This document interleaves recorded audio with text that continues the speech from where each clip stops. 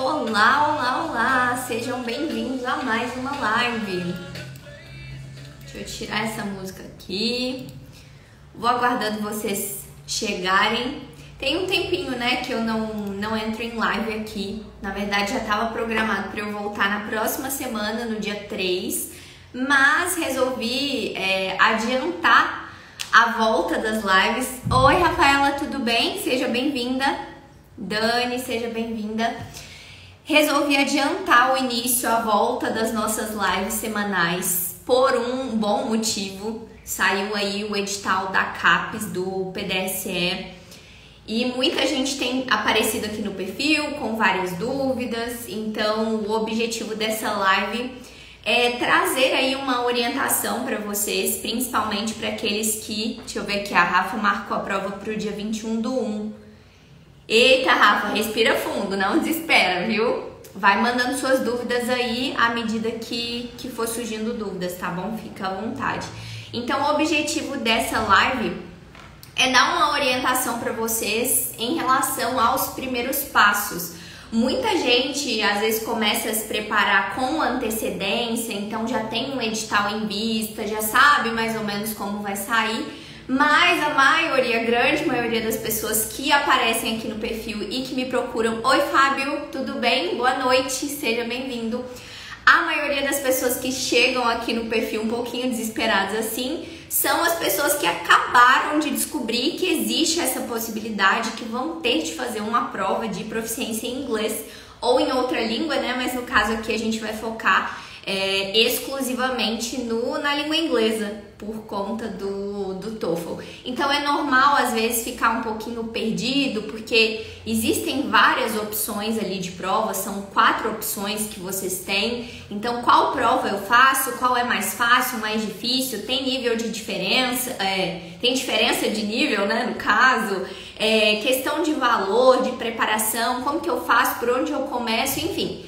Então eu preparei, eu tô aqui com o computador, gente. Se eu olhar para cá é porque o computador, não sei se dá pra ver, tá bem aqui embaixo. Eu preparei um resumo enorme com várias informações para trazer para vocês. Tem quatro páginas de informações. Então, assim, eu vou tentar fazer a live mais completa da minha vida. Eu espero que ajude vocês. Então, preciso também que vocês participem, vinhem as dúvidas. Oi, Késia, seja bem-vinda. Então, conto com vocês aí. Vamos só dar um minutinho para ver se mais alguém vai chegando. Enquanto isso, me contem aí. A Rafaela falou que vai fazer o PDSE. Alguém mais ou vocês vão fazer algum outro edital? Como que tá isso? Já estão com a prova marcada? Me contem aí. E não reparem, tá, gente? Porque eu bebo água o tempo inteiro. Quem é, quem é meu aluno já está mais que, que acostumado. Me contem aí. PDSE também, Késia? Perfeito. Já tá com a prova agendada ou não? Deixa eu anotar aqui. É, deixa eu ver. Oi, Bia, a Rafaela. Rafa tá com a prova marcada para o dia 21. Vamos ver quem mais aqui. Oi, Bia, seja bem-vinda. Se você chegou e está assistindo a gravação da live, dá uma adiantada aí nesse início, porque eu tô esperando mais gente chegar pra gente começar a falar sobre o edital. Não exatamente sobre o edital, mas sobre o anexo que fala sobre os requisitos de prova de proficiência. Mais alguém aí vai fazer o PDSE? Nunca fez a prova, primeira vez. Perfeito. E Rafa, você já estudou inglês antes? Qual o contato que vocês têm com o inglês? Afinal de contas, é uma prova de inglês. Muito se fala de estratégia, mas as estratégias sozinhas não dão conta é, de auxiliar vocês a fazerem uma boa prova. A gente precisa ali equilibrar as coisas, o conhecimento de inglês e o conhecimento da prova e o uso de estratégias. Pronto, gente, cinco minutos eu acho que, que dá pra gente começar sem, sem problemas nenhum. Então, só para reforçar, fiquem muito à vontade para mandar as dúvidas aí nos comentários. Eu vou tentar acompanhar todas, mas se por um acaso eu não ver alguma, mandem aí de novo ou chamem minha atenção aqui que eu respondo todo mundo, tá bom? Então vamos lá. Pra gente começar, eu coloquei aqui o título da live Proficiência PDSE Print, porque tem alguns, algumas instituições que estão com print aberto ainda. Eu sei que aqui na UFV, se não me engano, tá, por conta de alguns alunos que fizeram a prova recente. A USP, se não me engano, enfim.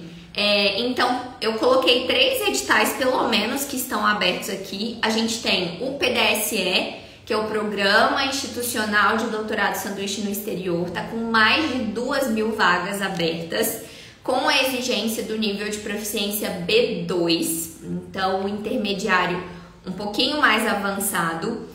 É, a seleção, se não me engano, confirme aí pra mim, mas vai até dia 13 de março, então 13 de março é o, o prazo final ali, é a última data que vocês têm para enviar essa documentação. A gente tem os editais do print. Eu fiz algumas anotações aqui também com a indicação de bolsistas até 14 de abril. Então a gente tem março, abril aí são os meses que geralmente eles é, pedem né, a documentação.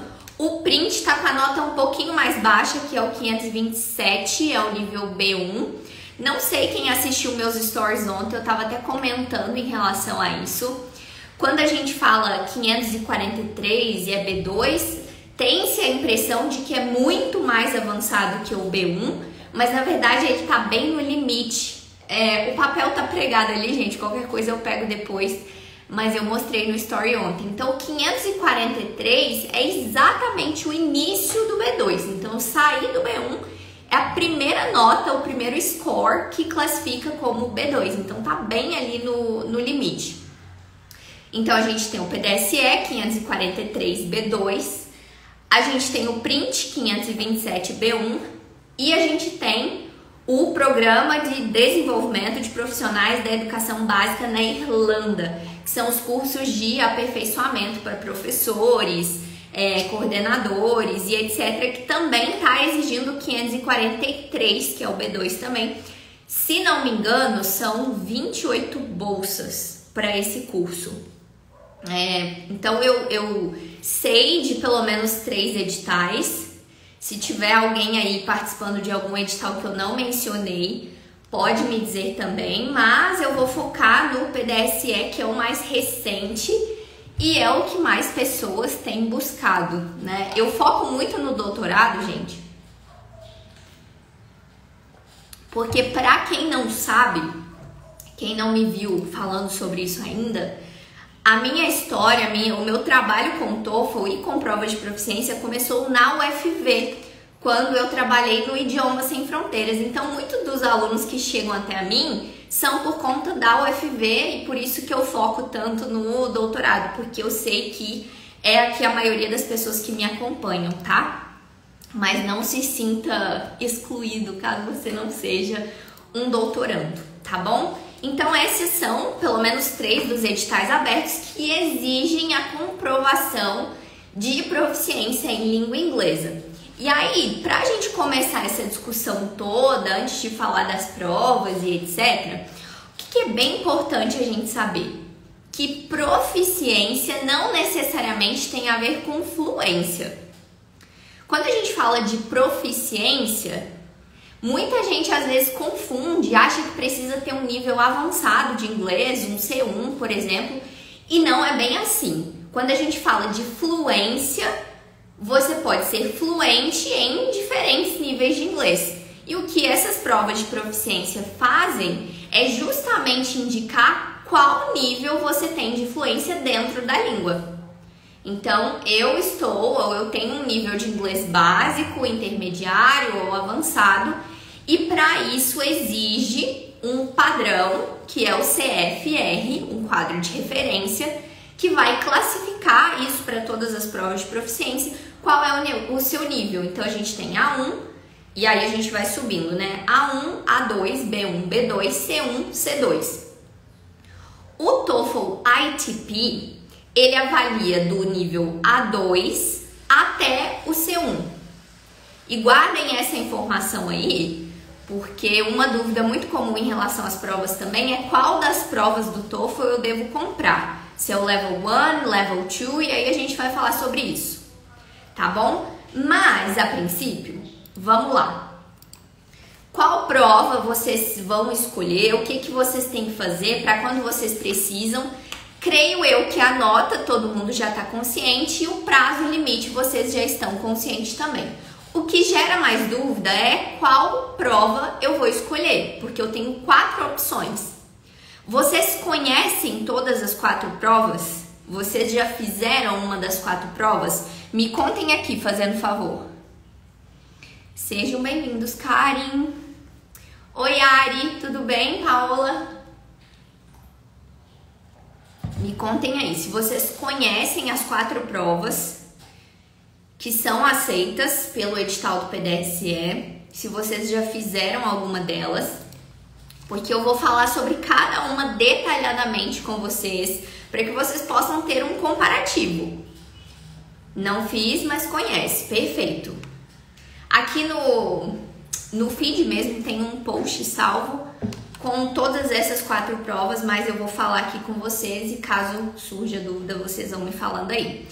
Eu vou seguir pela ordem que tá ali no edital. Se você não tá com o edital aberto, não tem problema, porque tá tudo aqui anotadinho no, no computador, no rascunho.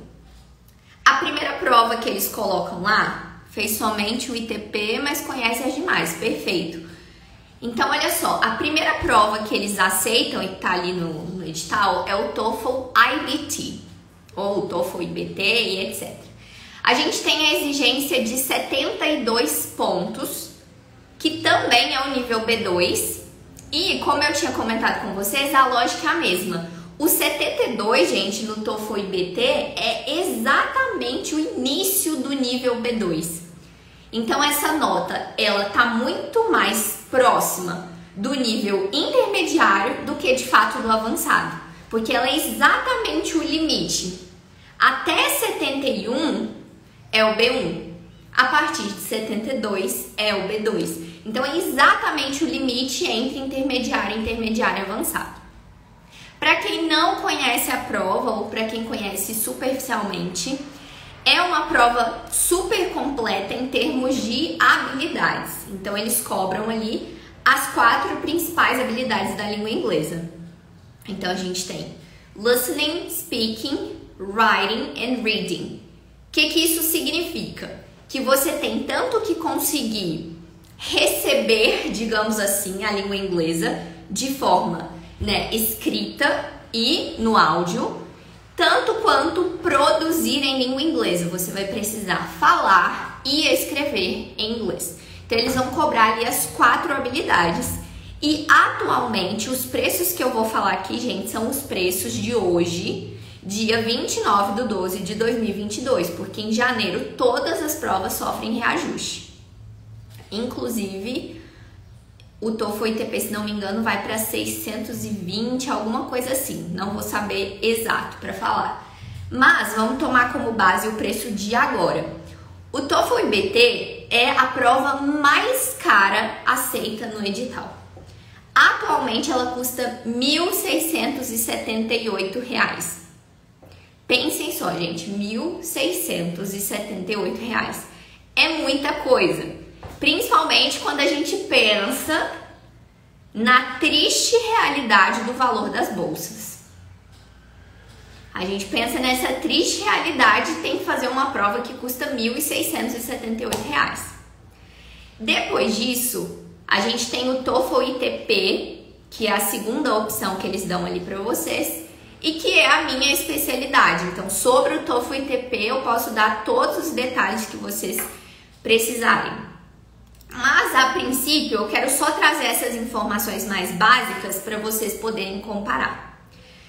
Dentro do edital ali, o TOEFL ITP é a única opção, única das quatro, que não exige que você fale e nem escreva em língua inglesa. Você tem que ter domínio das habilidades de recepção, então o listening e o reading, e você tem que ter domínio da estrutura da língua, que muita gente chama de sessão de gramática. Quem já me viu falando sobre isso aqui? Desculpa. Sabe que a segunda sessão ali da prova não é só gramática.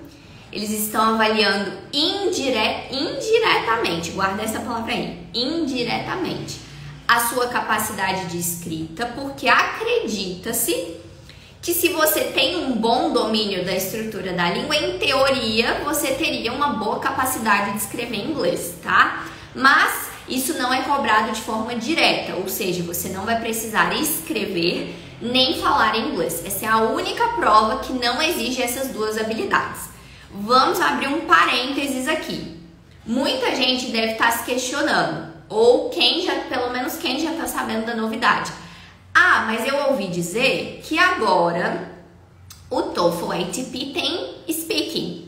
E sim, em 2022 eles acrescentaram uma sessão de speaking no TOEFL ATP, mas notícia boa, não é obrigatório. Inclusive no edital não está específico que tem que ser a prova de four skills, que seria a prova com speaking. O que, que isso significa? Que continua valendo a opção sem speaking. Então, como eu comentei com vocês, das quatro opções que vocês têm ali, o TOEFL ITP é a única em que vocês não vão precisar falar nem escrever em inglês. Em relação ao preço, é também a prova mais barata. Atualmente o preço é 572 se não me engano, em janeiro vai para 620 por aí. Não sei exatamente para falar com vocês agora, mas é por volta disso. Ainda assim, gente, continua sendo a prova mais barata. Todas as outras são acima de mil reais. Pelo menos mil e cem. No mínimo mil e cem reais para fazer uma prova. Tá? Em relação à validade, as duas provas, o TOEFL IBT e o ITP, o seu certificado ele tem validade de dois anos. O que, que isso significa? Se você fizer a sua prova em janeiro, por exemplo, você tem até janeiro de 2025 para poder utilizar o seu resultado. Então, se você quer se preparar com antecedência para algum edital, enfim, existe essa possibilidade. Você não precisa deixar para a última hora porque essas provas têm validade de dois anos. E aí tem uma exigência ali no edital, depois eu vou ler aqui direitinho com vocês, mas tem uma das exigências ali do edital que anota a validade da prova, o prazo máximo é a data de inscrição no edital. Então vamos supor, o edital vai até, deixa eu conferir aqui, 13 de março. Se a sua prova tiver validade até 13 de março, não tem problema. Se ela vencer no dia 14, não tem problema. Então, quem já fez a nota, sei lá, um ano e meio atrás e já tem esse resultado, você pode utilizar esse resultado caso o seu score seja equivalente com o que eles estão exigindo ali no edital. Não tem problema nenhum, desde que a validade ainda esteja ok dentro do prazo do edital. Deixa eu só beber uma água aqui. Vai me dizendo se vocês têm alguma dúvida até agora. Me contem aí se vocês têm dúvidas. Depois, a nossa terceira opção, daqui a pouco eu falo com mais é, calma, tá, pessoal, sobre o TOEFL ITP. Terceira opção que a gente tem é o IELTS, IELTS, cada pessoa pronuncia de um jeito. E aí, eles exigem aqui a nota 6, mas eles deixam bem claro, mínimo 6, sendo que cada uma das sessões tem que ter uma nota mínima de 5. Então não adianta eu tirar 6 no total se o meu speaking for 4, por exemplo. Então tem duas exigências, a nota mínima total e a nota mínima por sessão. Assim como o TOEFL IBT, você também precisa fazer as quatro sessões da prova, que inclui o speaking e o writing. E a nota exigida que também está dentro do nível B2. O preço atual da prova é 1.171 reais. Então já é acima de 1.100 aí, o dobro basicamente do preço do TOEFL ITP. E aí a última opção que a gente tem aqui é o certificado de Cambridge também com nível B2 e a prova custa R$ 1.160. É bem parecido com o preço do, do IELTS, né? R$ 1.160 atualmente, até quando eu fiz a, a pesquisa. E aí também é uma prova que vai exigir de vocês as quatro sessões. E aí a dúvida que fica é qual dessas provas eu devo escolher? Vamos pegar por um ranking ali de prioridade. Se você já fez uma prova e se você já tem esse certificado, use a que você tem, certo? Se você já fez uma prova e às vezes está com o score bem próximo do que precisa, talvez valha a pena é insistir nessa mesma prova, uma vez que você já conhece a estrutura, você já está um pouquinho mais familiarizado, isso tudo pode ajudar ali no seu desempenho, tá? Porém, o que, que começou ali a vir de dúvida? Por mais que a CAP aceite essas quatro provas e exija um score específico, as instituições de destino, as instituições que vão te receber, algumas vezes exigem uma prova ou uma nota diferente da do edital. Geralmente é uma nota a mais, nunca é a menos. Nunca é a menos do que o edital. Então, o primeiro ponto é: antes de vocês tomarem a decisão de qual prova vocês vão fazer, é muito importante conferir, se certificar de que essa prova e de que esse score também é aceito pela instituição de destino. Como que a gente pode fazer isso? Eu dei duas é, opções para vocês ontem no. Tá até no destaque, salvo. Primeira opção é procure no próprio site da instituição. E aí, no caso ali, é a parte de pesquisadores visitantes, etc., porque eles costumam especificar esse tipo de informação. Se você não encontrar essa informação, você pode entrar em contato com o escritório internacional da instituição, porque eles certamente vão ter essa informação para poder te passar. E aí, qual é o caminho mais seguro? Se a instituição aceita as mesmas provas que o edital da CAPES, porém com uma nota mais alta, considere a nota mais alta como meta, para que você não tenha problemas, certo? Considerem a nota mais alta, porque aí vocês não têm problema nenhum, vocês já fazem a prova atendendo os dois critérios, os dois requisitos, o da CAPES e o da instituição, certo? Se a, a instituição adotar uma prova diferente da exigida pela CAPES, o que, que vocês podem fazer? Entrar em contato com o co-orientador. Porque existe aqui, quer ver?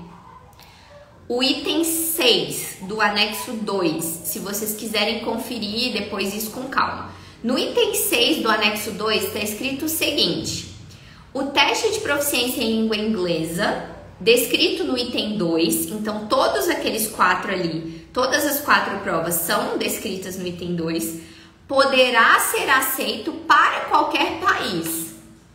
E aí vem a observação desde que conste expressamente na carta do orientador no exterior a aceitação do certificado pela instituição de destino. Então, às vezes, no site da instituição, por exemplo, não está dizendo que eles aceitam o TOEFL e TP.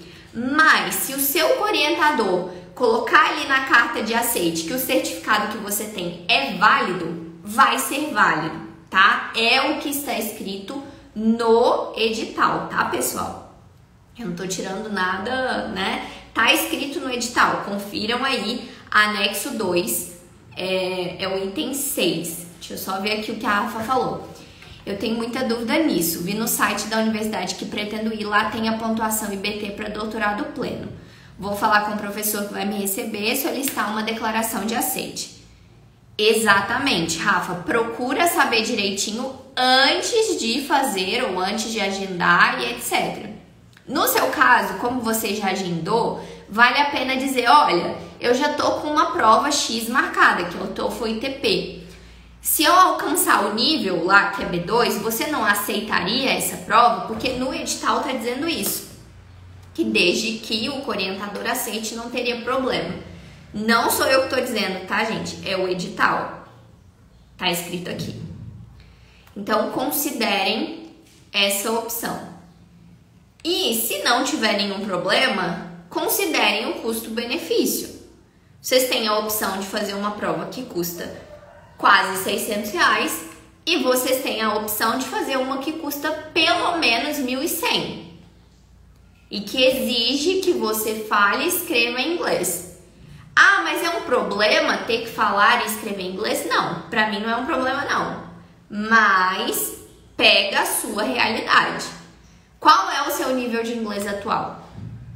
Todo mundo aqui sabe o nível de inglês atual? Ou pelo menos sabem me dizer, não precisa dizer se é B1, B2, enfim, às vezes vocês não vão saber isso. Mas vocês conseguem me dizer pelo menos se vocês têm nível de inglês básico, intermediário ou avançado? Me digam aí, por favor.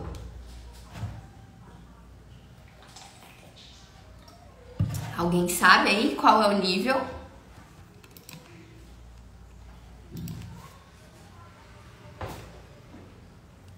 Se não intermediário, perfeito.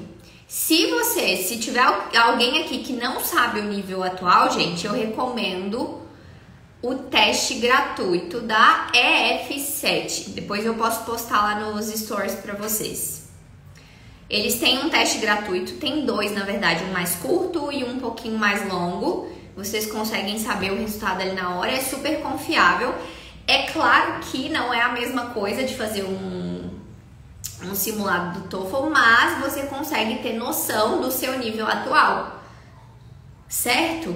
Porque existe uma coisa, gente, na, na sua decisão que precisa pesar, que é a compatibilidade de nível que, que eu quero dizer com isso? Lembra que eu comentei com vocês que o TOEFL, com quanto tempo de antecedência eu preciso agendar a prova?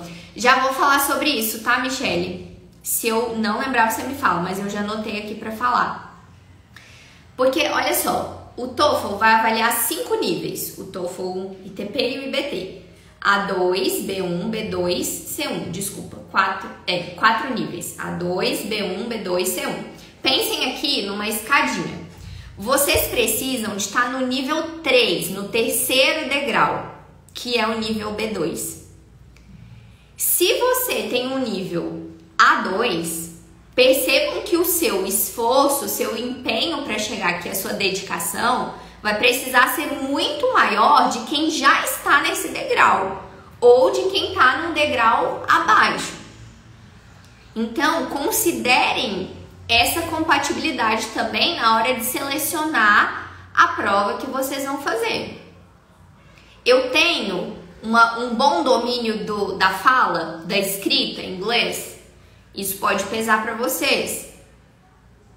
O preço, as habilidades, tudo isso vocês têm que colocar na balança na hora de selecionar uma prova, mas sempre considerem antes a pesquisa na instituição de destino para que vocês não selecionem, por exemplo, a prova só pelo preço e chega lá e eles não aceitam essa prova. Então, confiram tudo antes.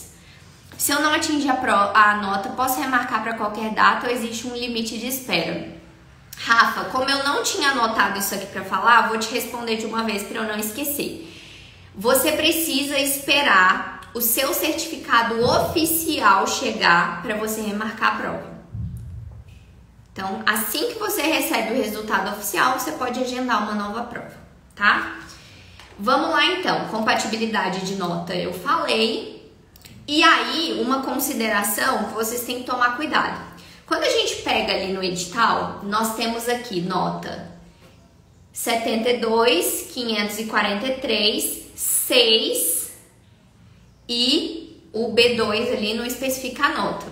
Quando a gente pensa 6, 72 e 543, o que, que a gente pensa que é mais baixo? Ah, o 6 é uma nota mais baixa, ou 72 é menor do que 543. E em número, sim, em número, o número é menor. Só que o nível de inglês exigido é exatamente o mesmo.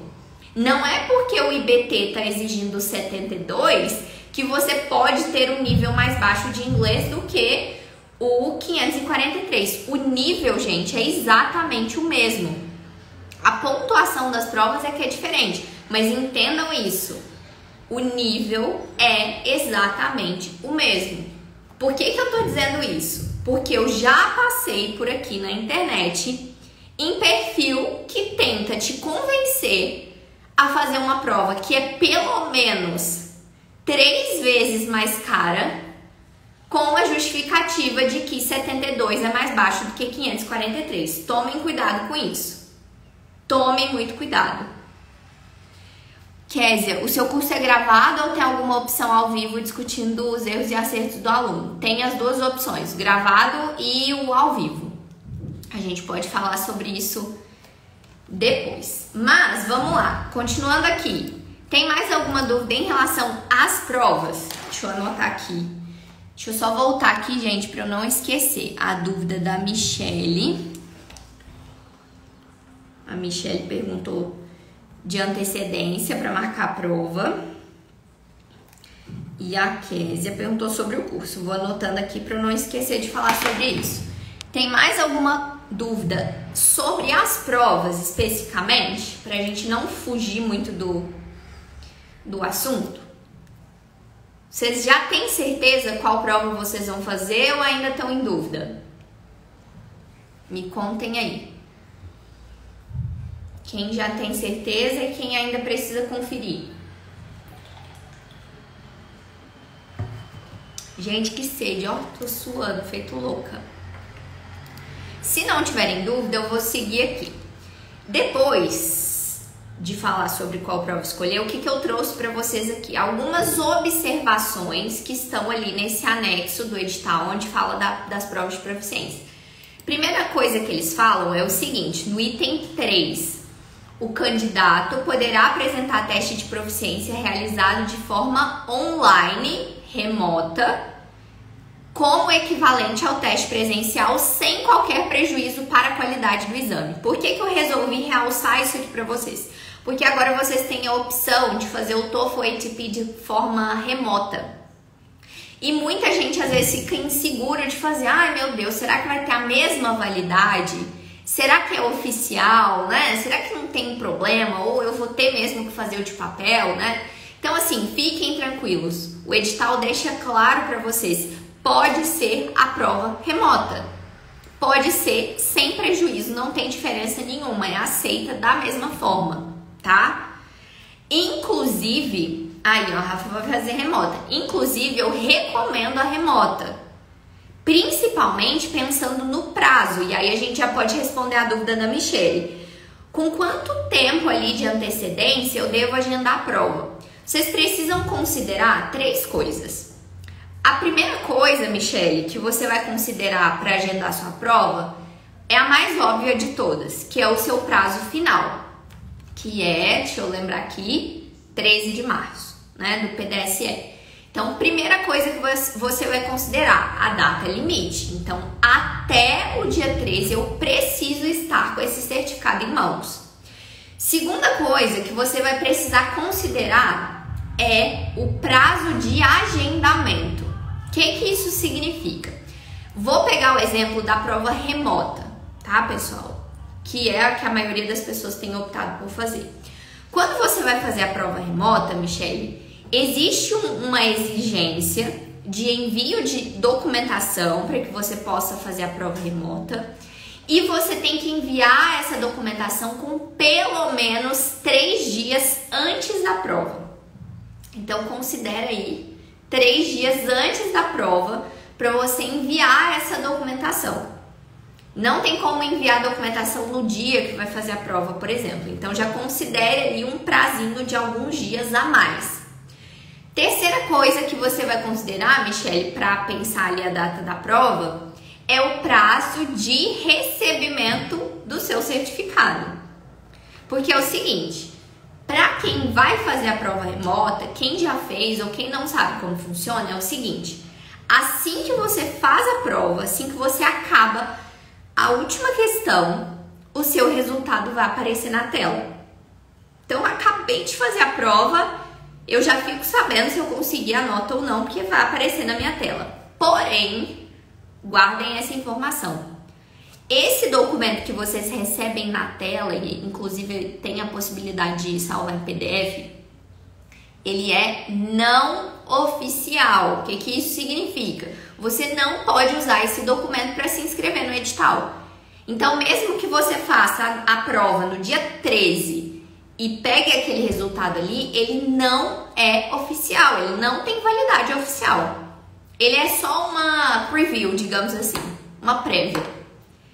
Esse documento oficial geralmente demora mais ou menos 72 horas úteis para ser recebido por e-mail. Então tem esse cálculo aí também. Vamos lá, eu queria fazer presencial, pois tenho medo da instabilidade da internet. Perfeito.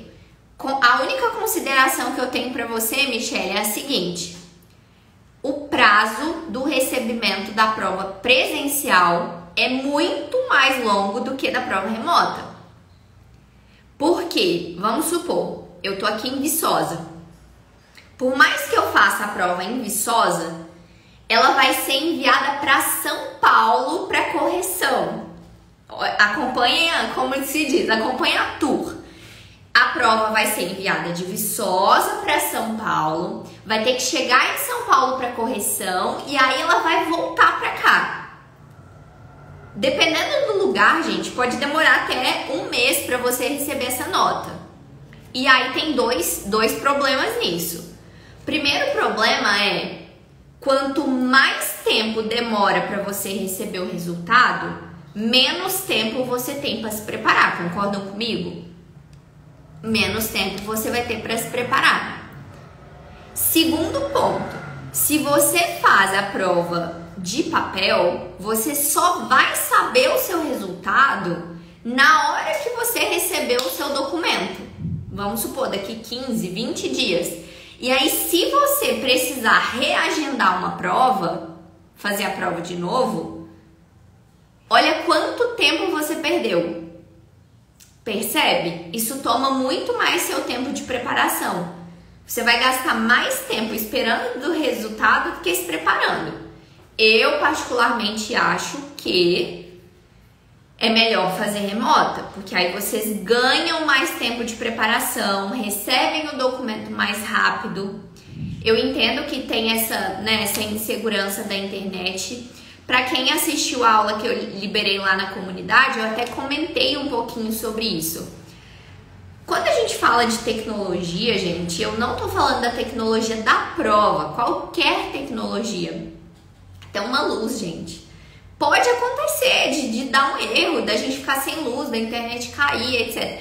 Qualquer tecnologia tem risco, a gente não pode garantir isso, mas o sistema da prova é extremamente seguro. Isso aí vocês podem confiar. Eu fiz a prova remota, eu já fiz de papel, já fiz remota. Podem, podem confiar, tá? A chance de dar algum problema é mínima. E aí pensem aí na questão do, do prazo, né? Porque em questão de prazo, não recomendo fazer a prova presencial. O preço é exatamente o mesmo, o número de questões, conteúdo é exatamente a mesma coisa, só que demora muito mais para você receber o resultado. Tem mais alguma dúvida sobre isso? Vou riscar aqui para eu saber que eu já respondi. Tem mais alguma dúvida sobre isso? Por nada. Pode ir mandando aí. Então, a primeira observação do edital é no item 3, então vocês podem fazer a prova remota, a validade é exatamente a mesma. É, depois, o outro item que estava logo em seguida era o item 6, e eu já até comentei com vocês, que é em relação é, a, o, a carta do co-orientador dizendo que aceita aquela prova. Então, a gente já comentou sobre isso. Então vale a pena, antes de agendar a prova, antes de comprar, enfim, confira ali se a instituição de destino aceita. É, depois tem mais dois itens aqui que eu grifei no edital que eu queria comentar com vocês, que é o item 8, está descrito o seguinte: será considerado como limite de validade dos testes de proficiência o último dia de inscrição na CAPES para a bolsa é, pleiteada, que foi o que eu comentei com vocês também. Se a sua prova, se você já fez a prova e ela tem validade até o dia 13, não tem problema. Se ela vencer no dia 14, não tem problema. Porém, ela precisa ter uma data de validade dentro do prazo ali da data limite do edital. E o último ponto que eu anotei aqui é em relação às exigências da instituição, que é o item 10 no anexo 2, que está reforçando o que eu disse no início. Os requisitos de proficiência listados serão exigências da CAPES e, e aí vem a parte importante, não dispensarão o atendimento das exigências da instituição de destino no exterior. Então, o edital da CAPES, a exigência da CAPES não tem nada a ver com a exigência da instituição. Para participar do edital da CAPES, você precisa cumprir a exigência da CAPES. Mas se a instituição tem uma outra exigência, eles não tem nada a ver com isso. E eles não dispensam essas exigências. Eita ferro! Eles não dispensam isso. O que, que isso significa? Se a instituição de destino tiver exigindo uma outra prova, uma outra nota, você tem que considerar isso. A sua aprovação no edital da CAPES não elimina, não anula as exigências da instituição de destino. Então tomem muito cuidado com isso. Eu acho que assim é o, o primeiro passo é conferir essas exigências para vocês não fazerem uma prova e depois prestarem de outra, enfim. Confiram direitinho, porque desde que o, o orientador coloque na carta de aceite, não tem problema nenhum, tá? Me contem aí se tem dúvida. Deixa eu só dar uma respirada aqui, beber uma água, porque eu tô falando demais.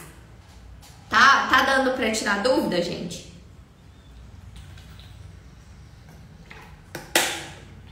Vão me dizendo aí. Estamos caminhando também para o fim. Vamos supor então, e aí a gente vai caminhando aqui para o final, que vocês já decidiram qual prova vão fazer e vocês vão fazer o TOEFL ITP. Quem aqui vai fazer o TOEFL ITP? Eu creio que todo mundo tá aqui. Todo mundo que tá aqui deve fazer o TOEFL ITP, porque vocês buscaram um perfil que fala sobre o TOEFL ITP. Mas se vocês forem fazer outra prova, não tem problema também não. Seguinte, para quem vai fazer pela primeira vez, eu não vou entrar de forma muito é, detalhada, tá? Mas só para vocês terem uma noção de como funciona a prova. A gente tem uma prova que atualmente pode ter três ou quatro sessões. A de quatro sessões, a diferença é que tem a sessão de speaking, que tem duração de mais ou menos 15 minutos ali a sessão. Mas eu vou focar no formato original, digamos assim, que é a prova de três skills, que tem listening, reading e o conhecimento de estrutura e expressão escrita da língua inglesa. Então, na prova, é, a primeira prova, o primeiro formato de prova, que é o de três skills, ele tem três sessões somente. E duração de mais ou menos uma hora e 50 minutos. Então são quase ali duas horas de prova. É uma prova relativamente longa, né? E aí, uma das dúvidas que pode surgir na hora de você comprar a prova é que vocês vão ver assim no site, por exemplo, no site oficial. TOEFL ITP Level 1, TOEFL ITP Level 2. Vocês já viram isso? Tem diferença? A que vocês precisam fazer é a Level 1. Por que, que eu vou fazer Level 1, Gabi? Porque a level 1 é que avalia do iniciante ao avançado. Então ela avalia A2, B1, B2 e C1. A level 2, ela só avalia do iniciante ao intermediário, que é o A2 e o B1. E a nota que vocês precisam tá aqui, ó. Se vocês fazem a level 2, não vai servir de nada, porque ela não avalia o nível que está sendo exigido, que é o B2. Então tem que ser a level 1, tá bom? Não se esqueçam disso, anota aí para não comprar a prova errada, hein, gente? Pelo amor de Deus. Segundo ponto, né? Como que funciona ali cada uma das sessões? Vou falar de forma bem resumida. Tem vários vídeos, posts, conteúdos aqui no, no Insta sobre isso. Quem faz os cursos também vê isso de forma muito detalhada, mas a primeira sessão da prova é a sessão de listening. Então nós temos 50 questões para responder em 35 minutos a gente está falando do tempo ali de 35 minutos, só que não é só para responder questão, né? São as 50 questões mais os áudios que você vai ouvir. Então o tempo é muito, muito curto. São 12 segundos para responder cada uma das questões. 12 segundos para responder cada uma das 50 questões. Depois a gente tem a sessão de estrutura e expressão escrita, então são 40 questões para responder em 25 minutos. Percebam que de novo o tempo definitivamente não está jogando a nosso favor. São 40 questões, 25 minutos para responder. Então é mais ou menos ali duas questões por minuto que vocês precisam dar conta de responder. E a última sessão da prova é a sessão de reading, que são 50 questões, 55 minutos para poder responder, então mais ou menos um minuto por questão. Mas o que, que a gente tem que considerar? Também não é só responder questão. Esse tempo é para, né? Os 55 minutos é para ler os cinco textos e responder as 50 questões. Então esse tempo ele tem que ser muito bem administrado para que vocês deem conta de responder todas as questões. Uma coisa que os meus alunos sabem e que eu não abro mão. Eu não admito sair de um curso preparatório sem conseguir responder todas as questões do tempo. Porque a sua nota, para quem não sabe, a sua nota é calculada com base no número de questões que você acertou. Quais as consequências disso? Quais as implicações? Se você deixa questões em branco, essas questões não vão contar no cálculo da sua nota e isso vai diminuir a sua nota. Então, se você quer fazer a prova, se você quer atingir o 543, por exemplo, o mínimo que você pode fazer é responder todas as perguntas. A gente não tem garantia, óbvio, ah, vou acertar todos. Não é bem assim, mas é o mínimo. Se você não responde todas as questões, espere ter uma nota baixa. Não tem como tirar uma nota alta deixando questão em branco. Fiquem cientes disso, tá? E aí, então, no total, são 140 questões para serem respondidas em 115 minutos. Essa noção de tempo aqui que eu tô falando com vocês, pessoal, é da prova de três skills. Caso você opte por fazer com speaking, inclusive no curso, o, meu curso já está atualizado, eu já estou falando da sessão de speaking lá, então se você vai fazer a sessão de speaking, ela vai ser a primeira, ela vai vir antes do listening e ela vai durar mais ou menos 15 minutos, tá? São quatro questões de speaking. Mas, né, como eu comentei, não vou ficar entrando muito detalhado nessa questão da prova, porque eu acho que o objetivo principal aqui dessa, dessa conversa é dar uma orientação mesmo para vocês, né? Então, qual prova que eu preciso, por onde que eu começo, enfim, tá? Vocês têm alguma dúvida até aqui? Falei sobre o level 2, level 1. Eu tinha colocado aqui em seguida, né? Qual o momento, o melhor momento para realizar a prova, que é exatamente a, a dúvida da Michelle, mas já respondi também. Então, só relembrando aqui, considere o seu prazo máximo, o tempo de agendamento, então o prazo que você precisa ali para envio da documentação, principalmente na prova remota, e o tempo de recebimento dos resultados. Quando eu falo, gente, assim, ah, é porque se você tiver que fazer a prova de novo, não é que eu tô desejando que vocês é, não consigam a nota de primeira, não é isso, tá? É porque a gente tem que ser realista. Nós precisamos ser realistas. É por questão de segurança. Eu preciso que vocês tenham um prazo ali suficiente, nem seja para fazer a prova mais uma vez. Por questão de tranquilidade, consciência limpa, tá? Mas eu desejo aqueles, né, os votos de 2023, que todo mundo consiga o score meta de primeira. Gabi, os textos longos para reading é considerado a parte mais difícil? Késia, é, não tem diferenciação de texto curto e texto longo do reading. Todos os textos têm mais ou menos o mesmo tamanho ali na sessão. É, peraí, os textos longos para reading é considerada a parte mais difícil? Então, assim, primeiro, não tem diferenciação de tamanho, tá? Não tem diferenciação de tamanho de texto, é mais ou menos a mesma coisa. Se é considerado mais difícil que as outras sessões, Késia, só confirma aí pra mim, por favor. Pra eu não responder coisa errada. Gabi, eu já faço seu curso e não consegui entrar no link da comunidade que você tem postado no Story. Na comunidade do Telegram, Michelle, me manda uma DM que me manda uma DM com o seu número de telefone que eu vou te adicionar lá. Me manda que eu te adiciono lá.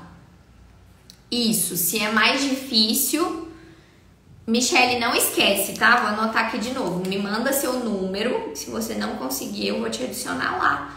Agora, assim que acabar a live. Por nada.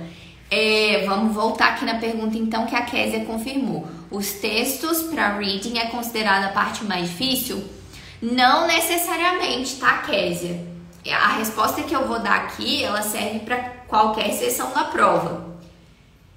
A questão de fácil e difícil, o que, que é mais fácil, o que, que é mais difícil, vai depender muito de pessoa para pessoa.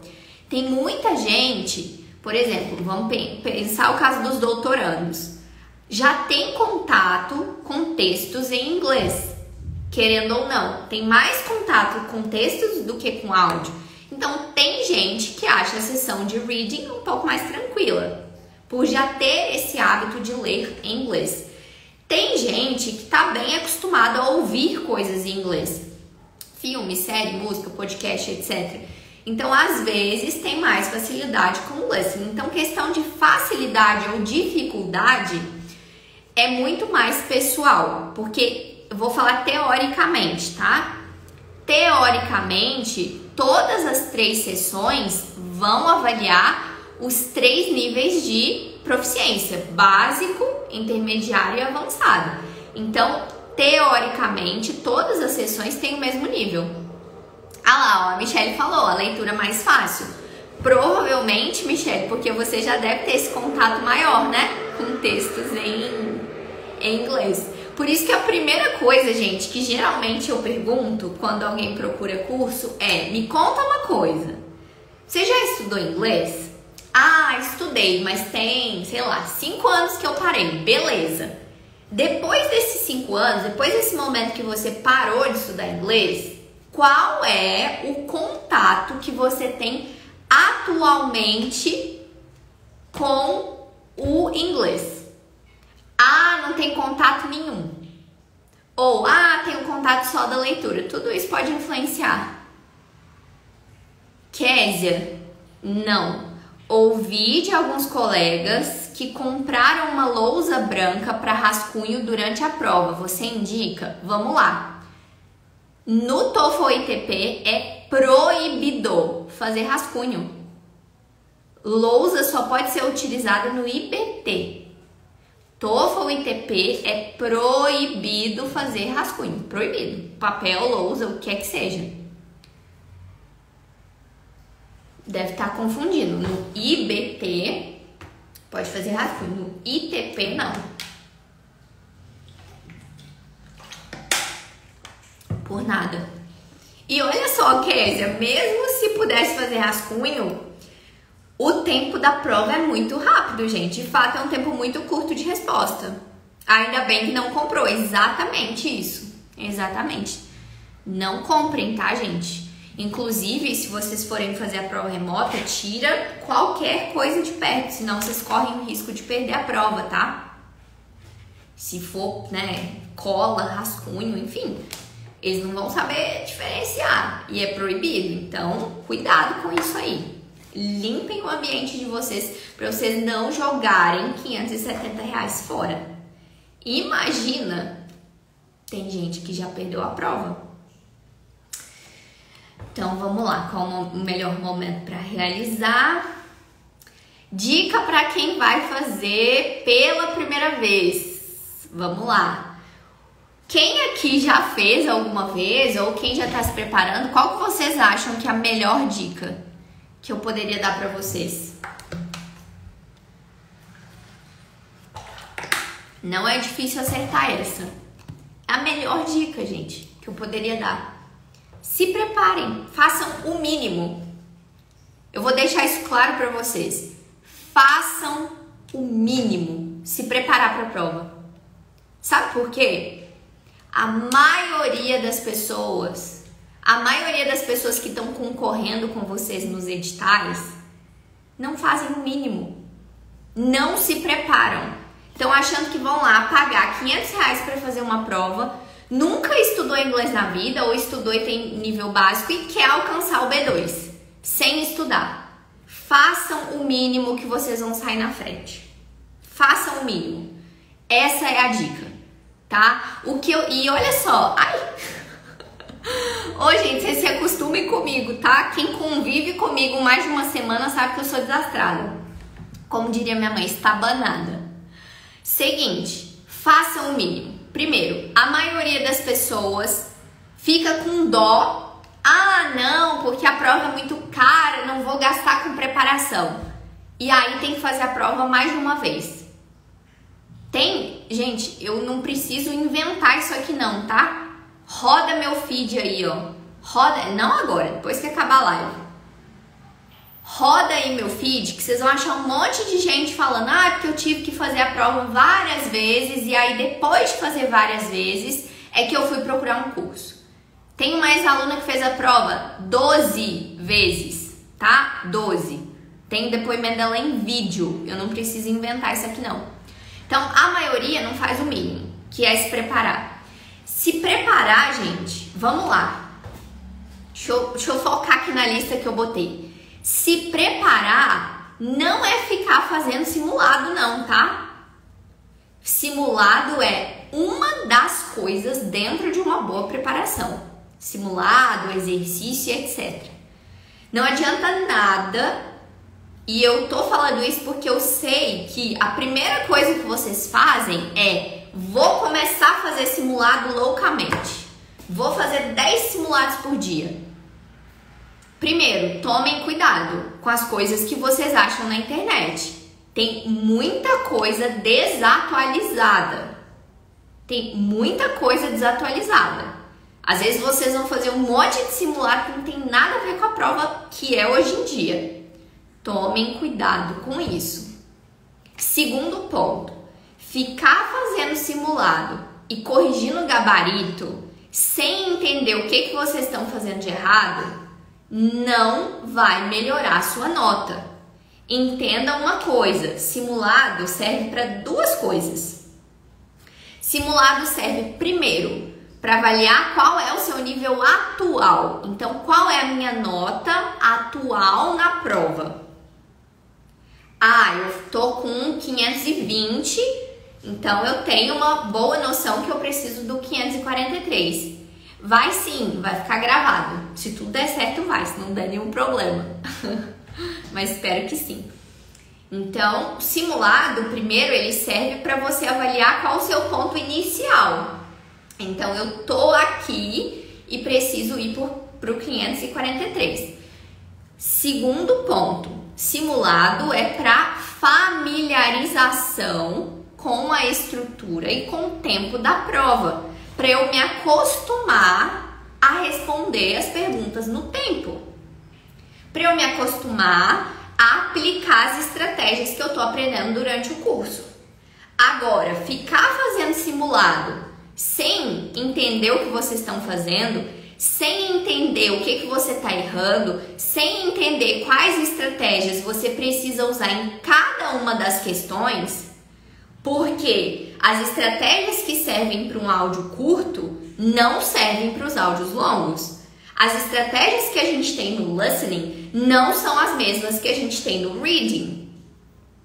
Então não adianta ficar fazendo simulado sem rumo, sem dominar a teoria, principalmente se você está com um nível de inglês abaixo do que você precisa.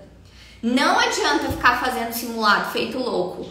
Se vocês não estão entendendo o que, que vocês estão errando, pensem no médico. Você chega no médico e fala assim: tô com dor. E aí o médico vai falar assim: beleza, dor de quê? Não sei, tô com dor.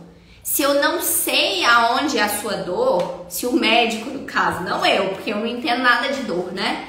Mas se o médico não entende se é uma dor de garganta, uma dor de ouvido, uma dor de estômago, como que ele vai curar a sua dor? Ah, eu fiz um simulado e errei 10 questões. Beleza, mas você errou 10 questões de quê? Porque como que você vai melhorar a sua nota? Como que você vai melhorar a sua saúde, sua doença, etc. Se você não sabe a dor, se você não sabe o, o problema. Minha dor é o reading. Ô, oh, Flaviane. O que que acontece? Você perde muito tempo? É vocabulário? O que que geralmente é? Vou medicar Flaviane, pessoal. Me conta aí, Flaviane. A dor, geralmente, é você não consegue ler tudo no tempo, tem dificuldade com algum vocabulário específico, algum tipo de questão específica, porque pode, né, ter vários tipos de dor. Me sinto uma analfabeta, mas ó, vamos lá, me explica aí melhor. É por conta do vocabulário, do tempo? Enquanto Flaviane vai dizendo, vai me, vai me dando as pistas para eu dar um diagnóstico para ela. Vamos lá, eu fiz uma lista aqui do que, que não é se preparar. Eu acho que alguém tinha falado aqui também. Deixa eu só voltar aqui para eu não perder a ordem. A Salete. Fazer muitos testes e ter um tempo para estudar todos os dias. Perfeito, Salete. Faça muitos exercícios Tenha um tempo fixo ali para você estudar, mas não fique só em exercício não. Tô te dizendo pelo seu bem, tá? Tô dizendo pelo seu bem. O que que eu coloquei aqui uma lista? O que que não é se preparar para o TOEFL? Não precisa ficar fazendo isso, tá? Vamos lá. Decorar palavra. Decorar a lista de palavra. Se você joga aí na internet, preparatório TOEFL, dica TOEFL, alguma coisa, vocês vão achar vários materiais com listas de palavra. 10 mil palavras acadêmicas em inglês para o TOEFL. 5 mil palavras acadêmicas para o TOEFL. Isso vai me ajudar? Não necessariamente.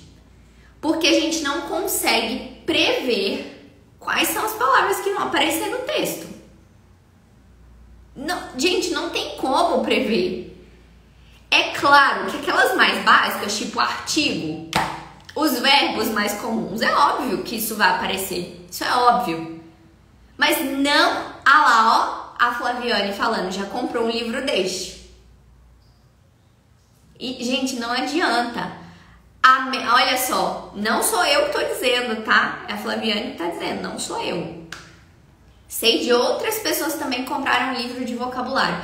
Gente, não tem como prever o vocabulário da prova.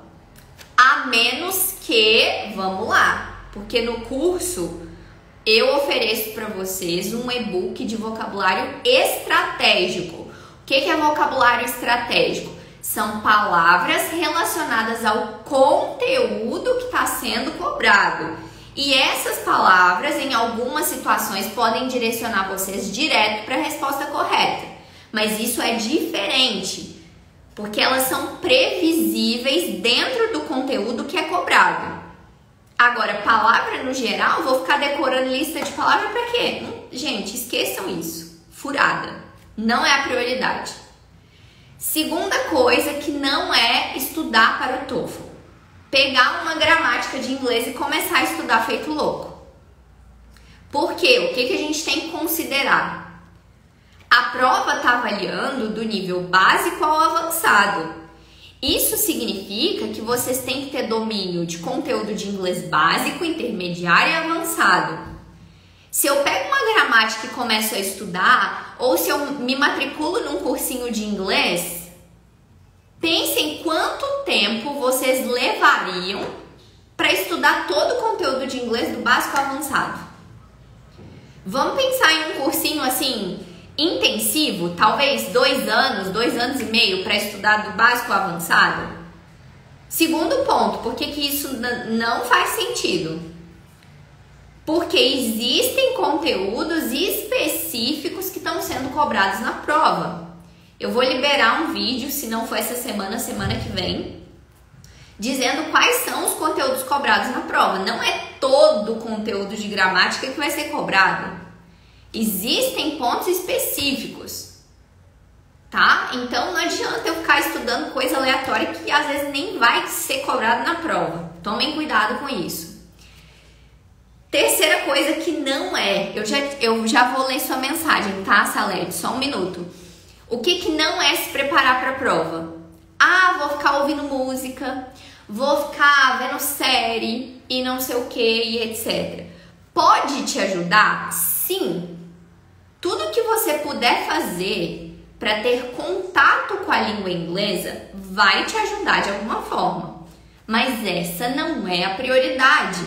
Porque os áudios que vocês recebem, os textos que vocês recebem na prova, não tem nada a ver com série, com música, com filme. São áudios fabricados para esse propósito. São áudios padronizados que nada tem a ver com os áudios que você escuta aí no dia a dia. Então, pode te ajudar a ouvir uma música, um podcast, assistir um filme, etc. Pode mas tem que ser assim uma cerejinha do bolo, não é o bolo. É só um complemento para te ajudar, mas não é o ideal. Vamos lá. Deixa eu só voltar aqui, Salete, deixa eu ver se eu perdi alguma coisa da Flaviane. É, temas difíceis, me perco nas alternativas, vocabulário, tempo, me perco no texto. A última prova que eu fiz foi horrível, a nota somente do reading. Ai, que pena, viu, Flaviane? Você já chegou a fazer algum curso preparatório, vendo cada um dos tipos de questão, estratégia para cada um dos tipos de questão, técnicas para lidar com vocabulário desconhecido? A Salete falou: no último teste que eu fiz, senti falta de familiaridade com o tempo de respostas, perdi muito tempo no início. Exatamente, Salete. Por exemplo, você tinha falado de simulado. Simulado é bom para isso, para testar e para praticar, no caso, desculpa, é, lidar melhor com o tempo. Porém, deixa eu fazer uma consideração para você. 12 segundos, vamos pegar o, o. Você tem 12 segundos. Deixa eu só beber uma água, gente.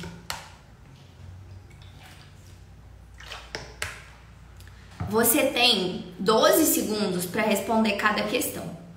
12 segundos, se você for ler as quatro alternativas, de fato não dá tempo.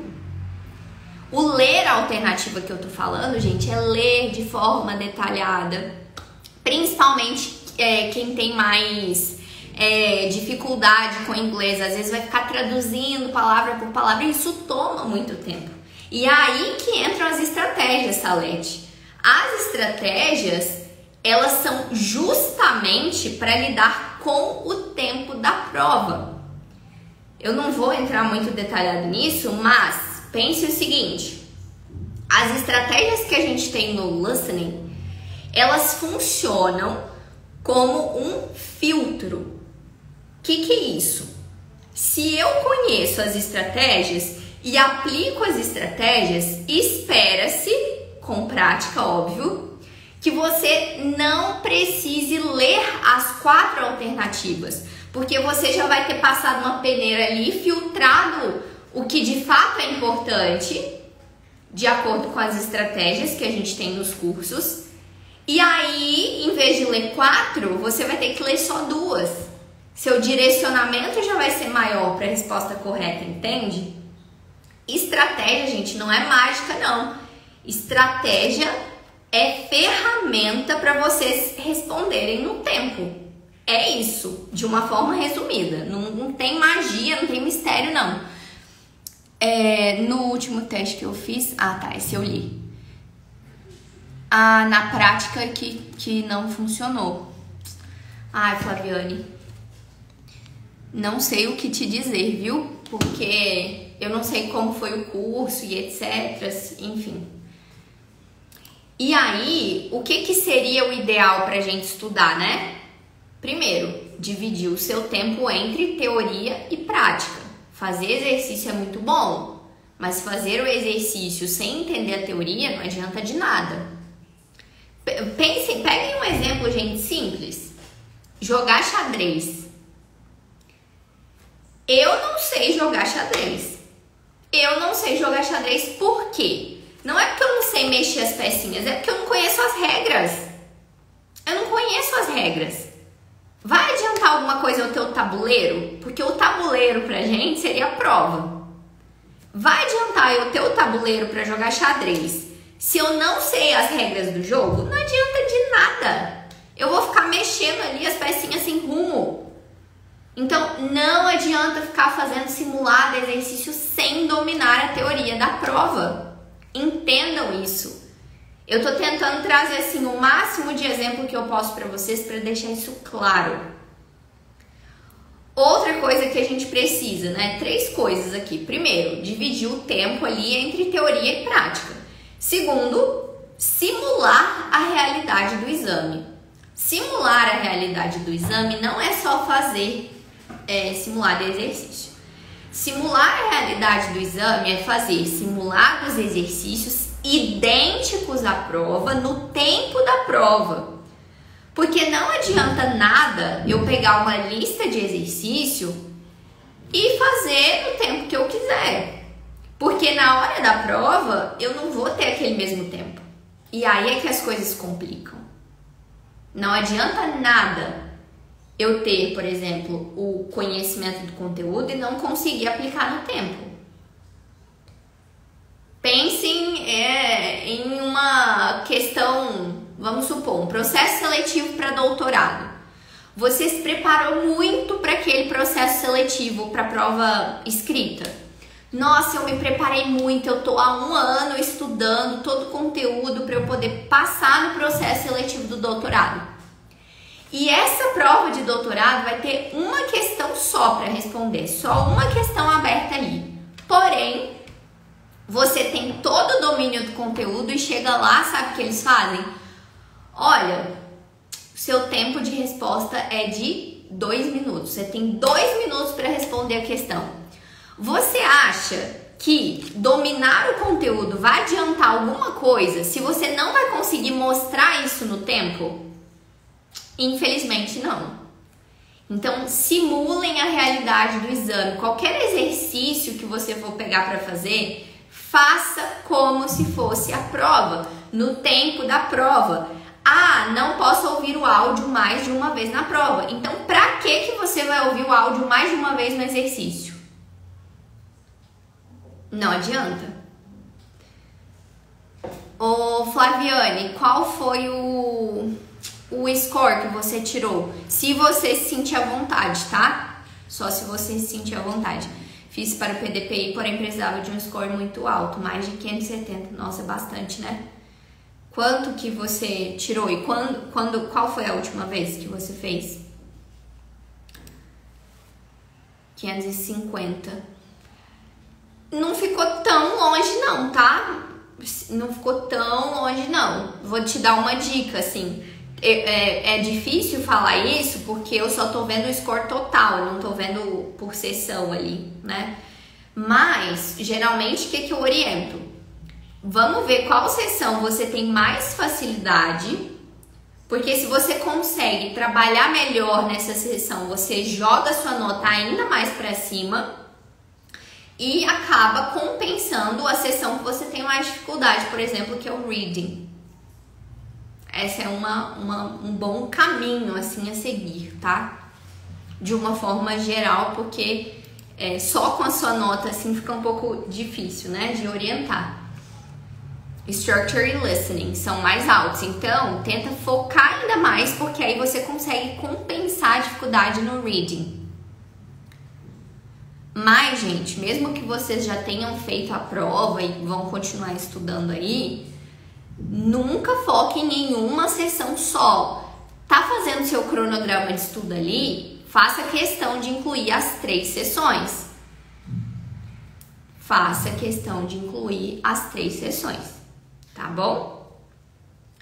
Então, três dicas, né, de como se preparar. Dividir o seu tempo entre teoria e prática, e eu expliquei por quê simular a realidade do exame, estou falando de tempo, de número de vezes que você vai ver a questão e etc.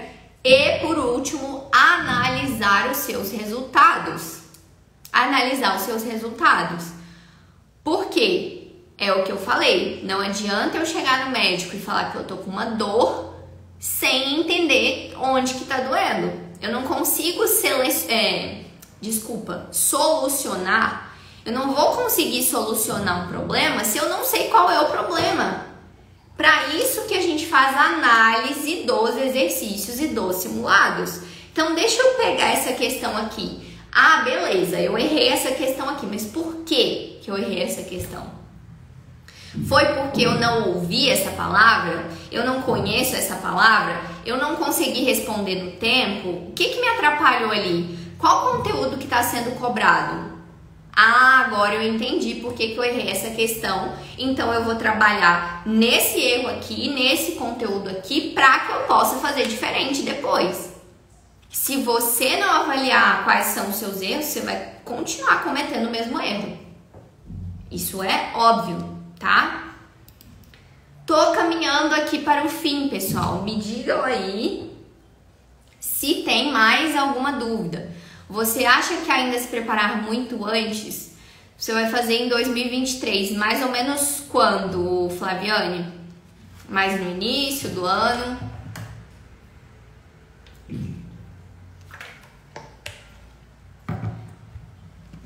A sua nota não ficou tão distante, tá? Então, assim, eu acho que alguns mesezinhos ali são. Não, seu prazo tá ótimo. Em junho, não, você tem tempo de sobra para se preparar.